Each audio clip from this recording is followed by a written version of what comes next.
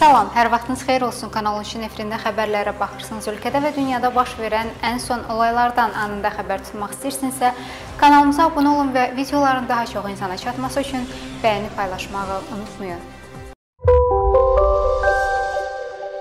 Qobustanda ağır yol qəzası baş verib. Hadisə nəticəsində 5 nəfər həyatını itirib. Bu barədə Daxili İşlər Nazirliyinin mətbuat xidmətinin Şəki regional qrupundan məlumat verilib. Bildirilib ki, bu gün səhər saatlarında rayonun Cəngi qəsəbəsi ərazisində Kia markalı avtomobilin idarə etmədən çıxaraq aşması nəticəsində biri az yaşlı olmaqla 5 nəfər həyatını itirib. Xəsarət alan bir nəfər isə Bakı şəhərində yerləşən xəstəxanalardan birinə göndərilib. Faktla bağlı araşdırma aparılır.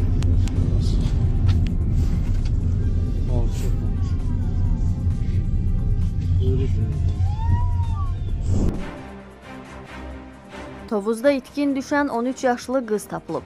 Daxili İşlər Nazirliyinin mətbuat xidmətinin Gəncə regional qrupunun baş inspektoru, polis kapitanı Eşqin Qasımov bildirib ki, Əfsanə Tağıyevanın Xaçmazda olması müəyyən edilib. Tovuz rayon polis şöbəsinin əməkdaşlarının keçirdikləri axtarış tədbirləri nəticəsində rayon sakini Tağıyevanın yeri Xaçmaz rayonunda müəyyənləşdirilib. Artıq polis əməkdaşları Tağıyeva ilə əlaqə saxlayıb. Səhhətinin normal olduğu və həyati təhlükəsinin olmadığı dəqiqləşdirilib. İlkin məlumata görə o ailə qurmaq üçün öz istəyi ilə Xaçmaz rayonuna gedib. Tezliklə ailəsinə təhvil veriləcək. Araşdırmalar davam etdirilir deyə Eşqin Qasımov vurğulayıb. Hər gecikdirilmiş gün üçün işçiyə əmək haqqının azı 1% məbləğində ödənc verilməlidir. Bununla belə reallıqda əksər işçilər bu imkandan istifadə etmirlər və ya edə bilmirlər. Bu sözləri Milli Məclisin deputatı Vüqar Bayramov mövzu ətrafında yaranmış suallara aydınlıq gətirərkən bildirib. Deputat məsələnin fərdi əmək mübahisəsinin yarandığı halda da şamil edildiyini deyib. Qərara əsasən hər gecikdirilmiş gün üçün işçiyə əmək haqqının azı 1% məbləğində ödənc verilməlidir. Bununla belə reallıqda əksər işçilər bu imkandan istifadə etmirlər və ya edə bilmirlər. İşçilərin bu hüquqlarının qorunması üçün vahid əmək müqavilələrinin hazırlanması və tətbiq olunması vacibdir. Deputat qeyd edib ki, həmin müqavilələrdə işçilərin öhdəliyi ilə yanaşı işə götürənin əmək haqqının yubatması ilə bağlı tələblərin müəyyənləşməsinə və gecikdirilmiş hər günə görə 1%-nin hesablanmasının əmək müqaviləsinə daxil edilməsinə ehtiyac var. Bu halda həm işə götürənin öhdəliyi bu kontekstdə rəsmiləşir və işə götürən əmək müqaviləsində həmin öhdəliyi götürməklə belə hallar baş verdiyi təqdirdə işçiyə əlavə vəsaitin ödənilməsini təmin edir. Nəticədə belə müqavilələr ilə işçilərin konstitusional hüquqlarının tam qorunması mümkün olar. Bu əmək haqqının gecikməsi zamanı işçilərin maaşlarına daha qısa müddətdə əlavələrin ödənilməsinə gətirib çıxara bilər, deyə o əlavə edib. Yevlaxın həbsdə olan sabiq icra başçısı Qoca Səmədovun vəziyyəti yenidən pisləşib. Kütləvi informasiya vasitələrində verilən məlumata görə o bu günlərdə cəza çəkmə müəssisəsindən penitensiar xidmətin müalicə müəssisəsinə köçürülüb. Məlumatı Səmədovun vəkili Elnur Əliyev təsdiq edib. 3 gündür təzyiqi 40-60 aralığında dəyişir. Hazırda müalicənin xəstəxanada davam etdirilməsi üçün çalışırıq deyə o vurğulayıb. Qeyd edək ki, Qoca Səmədov ürəyində yaranan problemdən əziyyət çəkir. O həbsdə olduğu müddətdə 3 dəfə əməliyyat olunub. Xatırladaq ki, Səmədov Dövlət Təhlükəsizliyi Xidməti tərəfindən həbs edilib. Vəzifə cinayətləri ilə bağlı ittiham olunan sabiq icra başçısına son olaraq 5 il 9 ay müddətinə azadlıqdan məhrum etmə cəzası təyin olunub. Ermənistan baş naziri Nikol Paşinyan Azərbaycanla sülh sazişinin tezliklə imzalanacağına ümid etdiyini bildirib. TASS istinadla xəbər verir ki, o bu barədə mayın 22-si keçirilən mətbuat konfransında deyib. Paşinyan hesab edir ki, sülhə nail olmaq üçün İrəvan və Bakı öz qoşunlarını sərhəddən eyni məsafədə geri çəkməlidir. Bu müzakirə və istişarələr və tabandan gələn mesajlar nəticəsində e, seçimlerin ikinci turunda Cumhur İttifakı adayı Sayın Recep Tayyip Erdoğan'ı destekleyeceğimizi beyan ediyorum.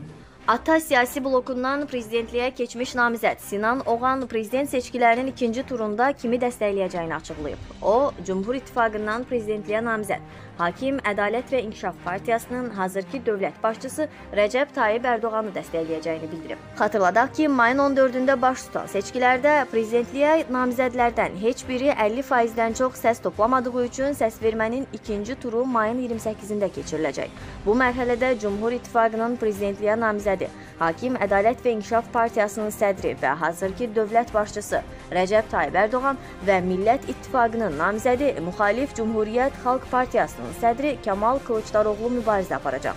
İkinci turda ən çox səs toplayan namizəd növbəti 5 il üçün Türkiyə prezidenti seçiləcək. Qeyd edək ki, ilk turda Türkiyənin hazırki prezidenti Rəcəb Tayyib Ərdoğan 49,51%, Millət İttifaqının namizədi Kəmal Kılıçdaroğlu isə 44,88% səs toplayıb. Bu müzakere ve istişareler ve tabandan gelen mesajlar neticesinde e, seçimlerin ikinci turunda Cumhur İttifakı adayı Sayın Recep Tayyip Erdoğan'ı destekleyeceğimizi beyan ediyorum. Bize ilk turda oy veren seçmenlerimizi de ikinci turda Sayın Erdoğan'ı desteklemeye davet ediyorum. Bu karar bu kararımızı alırken her türlü istişareyi yaptığımızı, kararımızın ülkemiz ve milletimiz için en doğru karar olacağına inandığımız için bu yönde karar aldığımızın bilinmesinde fayda vardır.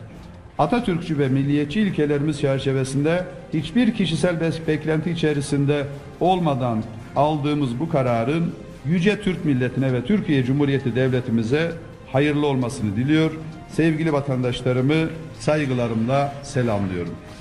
Değerli arkadaşlar, kararımızın e, ne yönde olacağına dair e, bu metinde okuduğumuz dışında herhangi bir şey ifade etmeyeceğim. Birazdan arkadaşlarımız size metni dağıtacaklar. Kusura bakmazsanız başka soru da almayacağım. Şimdilik hepinize çok teşekkür ederim. Hayırlı uğurlu olsun. May ayının 21-nə olan hava vaxtı məlumatı diqqətinizə çatdırırıq. Milli Hidrometeorologiya Xidmətindən verilən məlumata görə mayın 21-də Bakıda və Abşeron yarımadasında hava şəraiti dəyişkən, buludlu olacaq, arabir tutulacaq, əsasən yağmursuz keçəcək. Lakin gecə və səhər bəzi yerlərdə arabir yağış yağacaq, şimal-qərb küləyi əsəcək.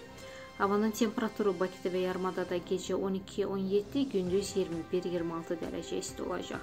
Atmosfer təzyiqi 760 mm civə sütunu təşkil edəcək nisbi rütubət 70-80% olacaq. Bax belə bugünlük və bu saatlıq bizdən bu qədər növbəti gündə görüşmək ümidi ilə hələlik.